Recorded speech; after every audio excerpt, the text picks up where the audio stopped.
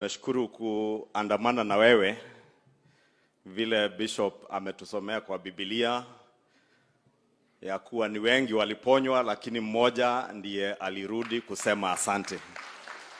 And we thank you excellency because when you came back recently from China ulisema unataka kwenda kanisa ambayo tunaweza pea Mwenyezi Mungu shukrani, na ukamuuliza Mheshimiwa KJ na KJ hakusita akasema mahali ulikuja 2019 kwa kanisa hili, akamuuliza Bishop Ken aje atukaribishe, na nishukuru Bishop Ken na mke wako kwa kutukaribisha kanisani, and we thank you. Pia Bishop, umetusomea Psalms 124 na ukatusomea vizuri that were the Lord not with us when the people attacked us they would have swallowed us alive. Na unajua Bishop, umesikia mheshimiwa Kasarani akisema anapenda kujigamba nilisomea Alliance. So wakati uliatuambia ask your neighbor if he has ever been attacked. And I was seated next to the president having gone to Alliance. There is no way I would have asked the president whether he has ever been attacked. Sababu nilijua. nilijua he has been attacked and uh, singeweza kumuuliza nikamwambia I know they attacked you.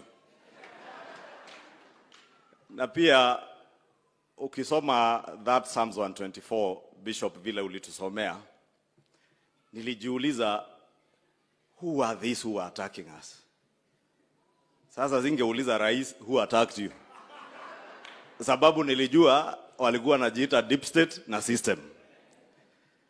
And it is true Bishop, wakati umetukaribisha pale, umekumbusha rais that when COVID hit in 2020 March, Mheshimiwa Rais alianza kazi ya kuwasaidia watu especially around Nairobi and the environs ya kupeana chakula through makanisa na bishop, unajua Mheshimiwa KJ alitumwa mara mingi akaleta chakula hapa ya kusaidia watu, na pia sisi wengine ambao tunakaribia eneo hili tukapata chakula, lakini wale walikuwa na attack wakati waliona hiyo mchakato ya kupeana chakula kupitia makanisa. Nakumbuka bishop walikuja Kikuyu wakatuwekea sumu kwa chakula. Wakaja hapa Dagoretti South wakaweka sumu kwa chakula. So when we read that were it not for the Lord being with us, the floods would have engulfed us. Nilijua ya kweli kuna Mungu mbinguni. That we were attacked and when their anger flared up and the floods were almost engulfing us, the Lord our God came.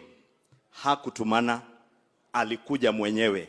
Saved the people of Dagoretti South when they were poisoned, saved the people of Kikuyu when they were poisoned, and we are now here to praise the Lord that through his name we also have a president who visited you here as a candidate who was under immense attack, who people had organized to attack him.